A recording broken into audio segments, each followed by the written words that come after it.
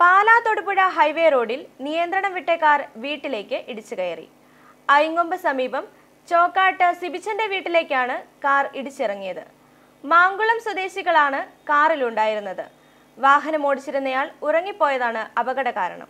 ഐങ്കൊമ്പിൽ car വീട്ടിലേക്ക് ഇടിച്ചു കയറി പാലാ തൊടുപുഴ ഹൈവേ റോഡിൽ നിയന്ത്രണം വിട്ട കാറാണ് വീട്ടിലേക്ക് ഇടിച്ചു കയറിയത്. അയങ്കൊമ്പിന് സമീപം ചോക്കാട്ട് സിബിച്ചന്റെ വീട്ടിലേക്കാണ് കാർ ഇടിച്ചു കയറിയത്. മാങ്കുളം സ്വദേശികളാണ് കാറിലുണ്ടായിരുന്നത്. വാഹനം ഓടിച്ചിരുന്നയാൾ ഉറങ്ങിപ്പോയതാണ് അപകട കാരണം. ഡ്രൈവർ ഉറങ്ങിയതോടെ റോഡിന് മറു സൈഡിലൂടെ ഓടിയ കാർ മൂടിയില്ലാത്ത ഓടയ്ക്ക് മുകളിലൂടെ കടന്ന് പുരയിടത്തിൽ ചാടിയ ശേഷം വീടിന്റെ മതിൽ തകർത്ത് മീൻകുളത്തിന്റെ മുകളിലൂടെയാണ് വീടിന്റെ ഭിത്തിയിലിടിച്ചത്.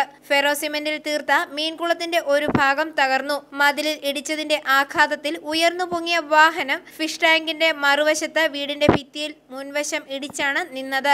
അപകടത്തിൽ വാഹനത്തിന്റെ മുൻഭാഗം തകർന്നു. വാഹനത്തിന്റെ പിൻഭാഗം ടാങ്കിന് മുകളിൽ ഉയർന്നു നിൽക്കുന്ന നിലയിലായിരുന്നു. പരിക്കേറ്റവരെ ചേർപ്പുങ്കൽ മാർസ്ലിവ ആശുപത്രിയിൽ പ്രവേശിപ്പിച്ചു. പാലാ പോലീസ് സ്ഥലത്തെത്തി. ഐഫോറി ന്യൂസ് പാലാ.